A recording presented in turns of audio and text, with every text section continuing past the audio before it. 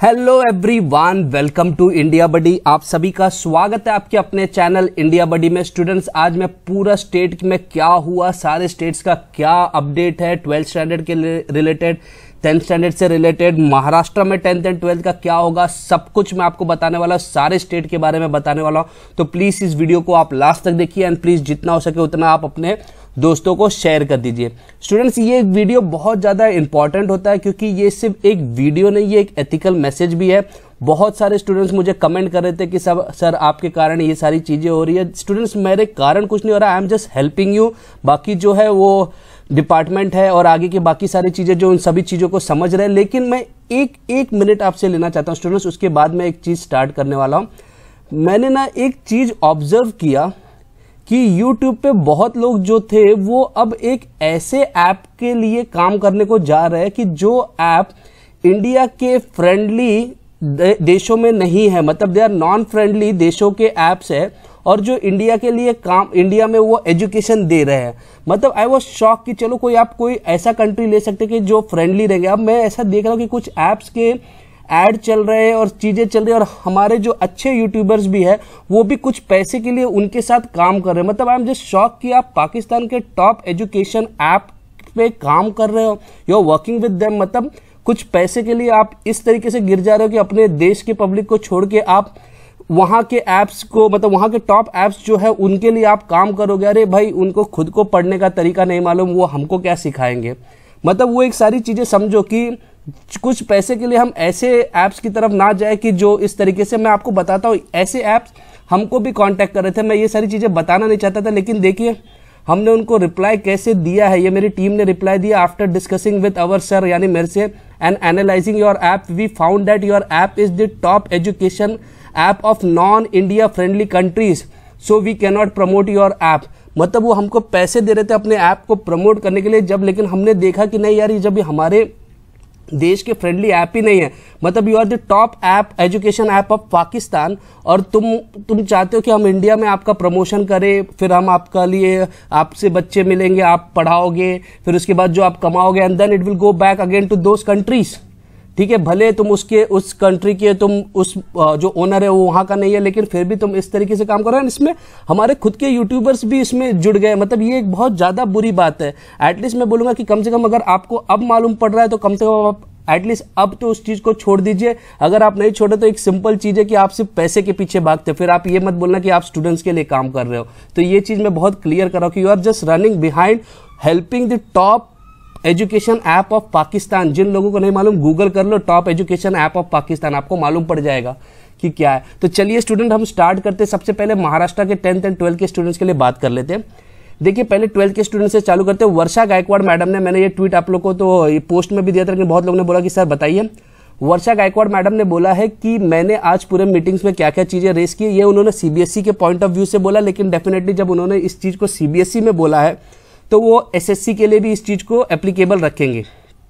तो क्या है इसको हम पूरा देख लेते हैं इसका, पूरा ट्रेंड सो यहाँ पे उन्होंने बोला है just keeping in the mind the ongoing pandemic situation and the projection that the children are vulnerable to the new strain of corona virus option of non examination route for class twelve student should be actively examined मतलब उन्होंने बोला है कि non examination root मतलब आप बिना exam के मतलब अगर ये चीज़ वो सीबीएसई को बोल सक रहे हैं तो डेफिनेटली एसएससी के लिए भी वो यही चीज़ को अप्लाई करेंगे. सॉरी एचएससी के लिए. तो अब टेंथ स्टैंडर्ड वाले पूछेंगे हमारा क्या होगा सर, जब वो ट्वेल्थ के लिए कैंसिल करने को सोच रहे तो टेंथ का तो ऑब्वियसली कैंसिल करेंगे ना। लेकिन इसका डिसीज़न कब आएगा? इसका डिसीज़न आपको दो दिन के बाद, जैसे वर्षा मैम ने बोला है कि हम माननीय मुख्यमंत्री साहब से डिस्कस करके फिर हम आपको बताएँगे। तो ये सारी चीज़ें तो टेंथ के स्टूडेंट्स एंड ट्वेल्थ के स्टूडेंट्स महाराष्ट्र के जितने भी स्टूडेंट्स हैं, आप खुश हो जाइए कि लगभग आपका पेपर टेंथ का तो कैंसिल हो गया था ट्वेल्थ का भी लगभग कैंसिल होगा, दो दिन में आपको पता चल जाएगा। इंटरनल असाइनमेंट क्या होगा, कैसे होगा, कितना ज़्यादा स्कोर करना है, वो मैं इंडिया बडी में आपको पूरा बता दूँगा, क्योंकि मैं बहुत सारे जो टॉप महाराष्ट्र के जो एग्जामिनर्स होते हैं और उनसे मैं कॉन्टैक्ट में तो आपको उस चीज़ की टेंशन लेने की ज़रूरत नहीं है, एकदम टॉप लेवल पे। तो मैं वो सारी चीज़ आपको बताऊँगा कि कैसे आपको स्कोर करना है, क्या करना है, सब कुछ मैं आपको बताऊँगा तो चैनल को आप सब्सक्राइब करके रखिए। एंड अब हम बढ़ते हैं कि कुछ और चीज़ों को कि आज क्या हुआ।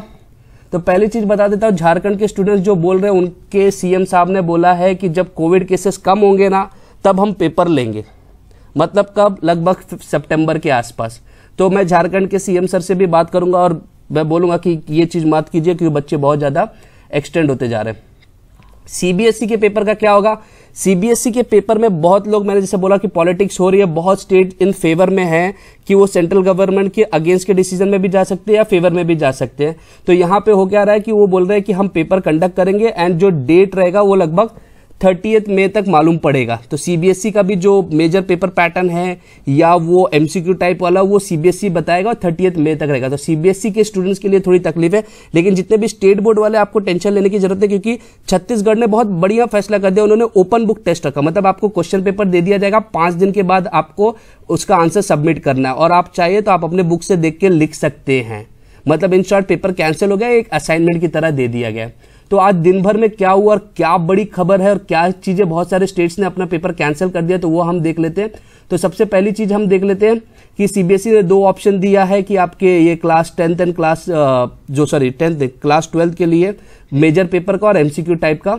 यूपी के लिए बोला जा रहा है कि जो एजुकेशन मिनिस्टर है, उन्होंने दिनेश शर्मा सर ने बोला कि वो योगी आदित्यनाथ जी से डिस्कस करने के बाद ही डिसाइड करेंगे कि यूपी के पेपर के लिए क्या करना है।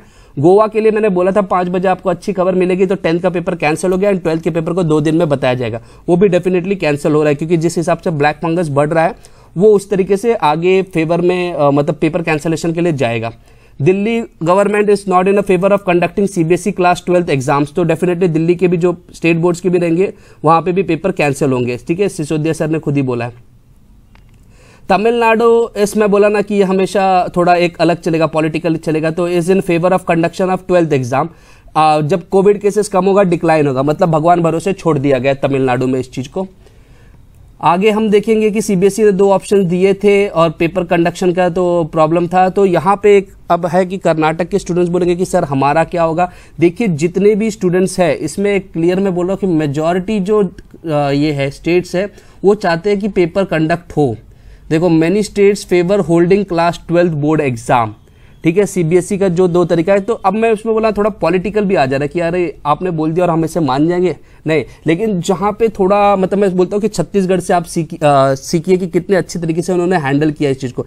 टेंथ का भी रिज़ल्ट लगा दिया अब ट्वेल्थ का भी रिज़ल्ट अगर आप देखोगे, पाँच दिन में वो सबमिट हो जाएगी, उसके बाद फिर रिज़ल्ट भी फटाक से आ जाएगा। मतलब वो आगे के करियर को भी बहुत ज़्यादा मेंटेन कर रहे हैं।